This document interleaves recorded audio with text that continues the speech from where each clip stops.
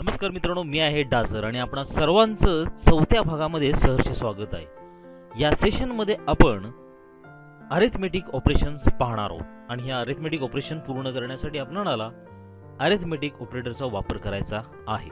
त्याचबरोबर मागील सेशनमध्ये आपण इंटिजर व्हेरिएबल कसं निर्माण करायचं त्याचबरोबर व्हेरिएबल म्हणजे काय ही संकल्पना आपण जाणून घेतलेली आहे. तर मागील सेशनच्या आधारे आपण जाणताच की आपण डिक्लेरेशन एरियामध्ये डेटा टाईप दिल्यानंतर व्हेरिएबलचं नाव देऊन त्या ठिकाणी व्हेरिएबल निर्माण करतो.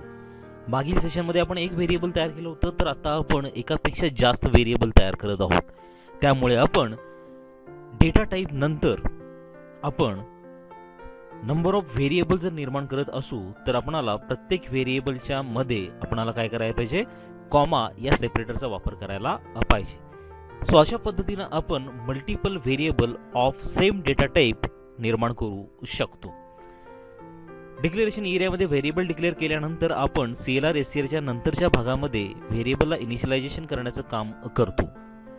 तर या ठिकाणी आपणाकडे जे व्हेरिएबल्स आहेत ए आणि बी यांना आपण रेस्पेक्टिव्हली ज्या व्हॅल्यू दिलेल्या आहेत त्या आहेत पंचवीस आणि दहा. म्हणजेच ए साठी किंमत आहे पंचवीस तर बी साठी किंमत आहे दहा. म्हणजेच ए आणि बी या दोन व्हेरिएबलमध्ये रेस्पेक्टिव्हली पंचवीस आणि दहा ह्या किमती जाऊन बसलेल्या आहेत. लक्षात घ्या. ए मेमरी ब्लॉकमध्ये पंचवीस तर बी मेमरी ब्लॉकमध्ये दहा. अशा दोन किमती या दोन ब्लॉकमध्ये जाऊन बसलेल्या आहेत. सी या व्हेरिएबलला आपण किंमत असाइन करत आहोत. कुणाच्या सहकार्याने? ए आणि बीच्या सहकार्याने. तर हे कसं करत आहोत आपण? तर ए मधली किंमत आणि बी मधली किंमत यांच्यावरती आपण अधिक ऑपरेशन ऍडिशन ऑपरेशन लागू करून त्यातून निर्माण होणारी जी किंमत आहे ती आपण कुणाला असाइन करतोय? सी ला असाइन करत आहोत. म्हणजेच सी मध्ये येणारी किंमत ही ए आणि बीच्या बेरजेतून निर्माण होणारी जी किंमत असणार आहे ती किंमत सी मध्ये असणार आहे. तर आता आपण अरिथमेटिक ऑपरेशन मधील या ठिकाणी ऍडिशन हे ऑपरेशन या ठिकाणी पूर्ण केलेलं आहे. आपण त्यासाठी दोन इंटिजर व्हेरिएबलचा वापर केलेला आहे. आणि ह्या दोन इंटिजर व्हेरिएबलला आपण असाइनमेंट ऑपरेटरच्या सहाय्याने त्याला दोन किमती असाइन केलेल्या आहेत. म्हणजे दोन रेस्पेक्टिव्ह व्हेरिएबलला दोन व्हॅल्यूज आपण वन बाय वन करून ॲड असाइन केलेल्या आहेत. त्यानंतर सी या व्हेरिएबलला व्हॅल्यू असाइन होत असताना ए आणि बीचा वापर करून म्हणजेच ए आणि बी वरती अधिक ऑपरेशन लागू करून निर्माण होणारी जी किंमत असेल ती आपण सी या व्हेरिएबलला आपण असाइन केलेली आहे. त्यानंतर आपण प्रिंटेप फंक्शनचा वापर करतोय. प्रिंटेप फंक्शनमध्ये आपण काय वर्कआउट करणार आहोत? तर आपल्याला स्क्रीनवरती जो टेक्स्ट दिसला पाहिजे तो असणार आहे addition is addition is equals to addition is equals to हा टेक्स्ट असणार आहे. आणि इज इक्वल्स टू साईन नंतर आपणाकडे जी येणारी किंमत असणार आहे एक इंटिजर किंमत असणार आहे. आणि ही इंटिजर किंमत कशामधली पिकअप केली जाणार आहे? तर सी या व्हेरिएबलच्या आतमधली किंमत पिकअप केली जाणार आहे. तो पर्सेंटेज आय हा नेहमी व्हॅल्यू पिकअप करणार आहे मेमरी ब्लॉक मधील. आणि कोणता मेमरी ब्लॉक त्याच्यासमोर आहे? तर सी हा मेमरी ब्लॉक आहे. तर त्याच्यामधून येणारी जी किंमत असणार आहे किंवा त्याच्यामध्ये असणारी जी किंमत आहे ती आपण आता या पर्सेंटेज आयच्या साहाय्याने पिकअप करून ऍडिशन इज इक्वल्स टू नंतर ती त्या ठिकाणी शो केली जाणार आहे. तर आता आपण प्रोग्राम सेव्ह करूया आणि प्रोग्राम कंपाईल करून त्याच्यानंतर कंट्रोल एफ नाईनचा वापर करून आपण प्रोग्राम रन करूया.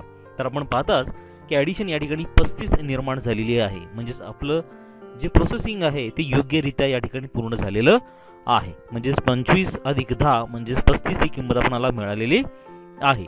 तर सीमध्ये आता तुम्ही मेमरी ब्लॉकमध्ये पाहू शकता की सीमध्ये जी किंमत निर्माण झालेली आहे ती आहे पस्तीस. पस्तीस ही किंमत ए आणि बी च्या समेशनमुळे निर्माण झालेली आहे.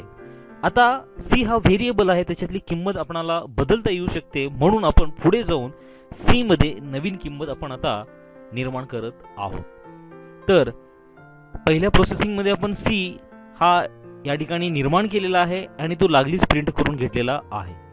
आता आपण पुन्हा या सी ला नवीन व्हॅल्यू असाइन करत आहोत. तर नवीन व्हॅल्यू असाइन करण्यासाठी आपण या ठिकाणी ए मायनस बी या ऑपरेशनचा वापर करत आहोत. म्हणजेच सबस्ट्रॅक्शन ऑपरेशन अरेथमेटिक ऑपरेशन मधलं सबस्ट्रॅक्शन ऑपरेशन या ठिकाणी आपण पूर्ण करून सी ला या ठिकाणी नवीन व्हॅल्यू असाइन करत आहोत.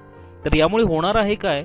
की या अगोदर निर्माण झालेली सी मधली जी काही किंमत आहे ती या ठिकाणी रिमूव्ह करून एक नवीन किंमत त्या ठिकाणी लागू केली जाणार आहे. कोणाला? सी ला. कारण की आपला प्रोग्राम टॉप टू बॉटम अप्रोचमध्ये फ्लो होत आहे. म्हणजेच टॉप टू बॉटम वे मध्ये जर आपण आलो तर सगळ्यात अगोदर सी ला ऑपरेशनमुळे या ठिकाणी किंमत लागू होते.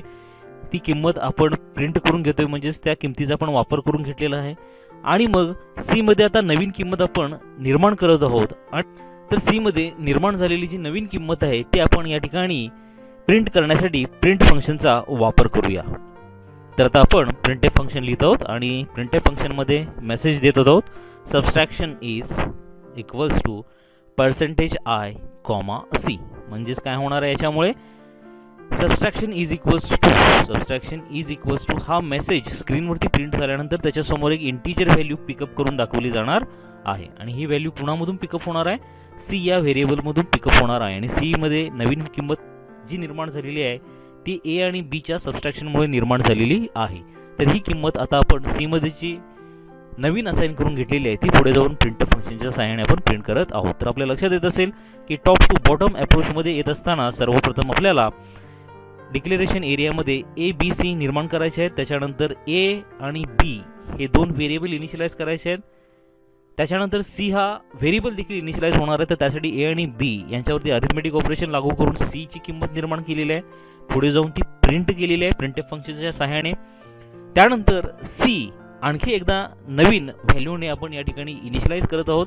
तर जुनी जी सीमधली किंमत आहे ती निघून जाईल आणि नवीन किंमत या ठिकाणी लागू होईल. तर ती लागू होत असताना ए मायनस बी हे ऑपरेशन पूर्ण होऊन त्या ठिकाणी येणारी नवीन किंमत सीमध्ये तयार होईल आणि सीमध्ये नवीन आलेली किंमत आपण पुढे जाऊन प्रिंट करणार आहोत. तर अशा पद्धतीनं आपण टॉप टू बॉटम वेनं वर्कआउट पूर्ण करून या ठिकाणी अरेथमेटिक ऑपरेशनमधील ॲडिशन आणि सबस्ट्रॅक्शन ऑपरेशन या ठिकाणी पूर्ण केलेलं आहे. तर तुम्ही मित्र हो या ठिकाणी मल्टिप्लिकेशन आणि डिव्हिजनसाठी पुढे जाऊन कोड पूर्ण करून घ्या. तत्पूर्वी आपण हा जो आपण सबस्ट्रॅक्शनसाठी पाहिलेला भाग आहे तो रन करूया.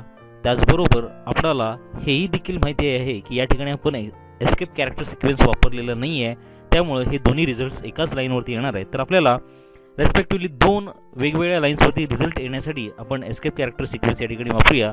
स्लॅशन सो स्लॅशन केल्यामुळे आपल्याला सेकंड प्रिंटेप स्टेटमेंट हे सेकंड लाईनला प्रिंट झालेलं पाहायला मिळेल. चला तर मग रिझल्ट पाहूया. कंट्रोल एफ नाईन करतोय आपण. तर या ठिकाणी तुम्ही पाहतायच की ॲडिशन ही पस्तीस आहे तर सबस्ट्रॅक्शन ही पंधरा आहे. तर आपला प्रोग्राम या ठिकाणी यशस्वीरित्या पूर्ण झालेला आहे. आणि मी आशा करतो की तुम्हाला हा अरेथमेटिक ऑपरेशन त्याचबरोबर अरेथमेटिक ऑपरेटरचा वापर करणे आणि त्यासाठी इंटिजर व्हेरिएबलचा आपण या ठिकाणी जो वापर केलेला आहे तो तुम्हाला खूप छानरित्या समजलेला आहे. आणि मी आशा करतो की तुम्हाला मी जे सांगितलेले दोन ऑपरेशन जे आहेत मल्टिप्लिकेशन आणि डिव्हिजन हे दोन ऑपरेशन तुम्ही तुमच्या परीनं सॉल्व्ह करा. त्यामध्ये काही शंका असेल तर मला निश्चित कमेंट करा. मी तुम्हाला त्या ठिकाणी प्रतिसाद देईन. धन्यवाद.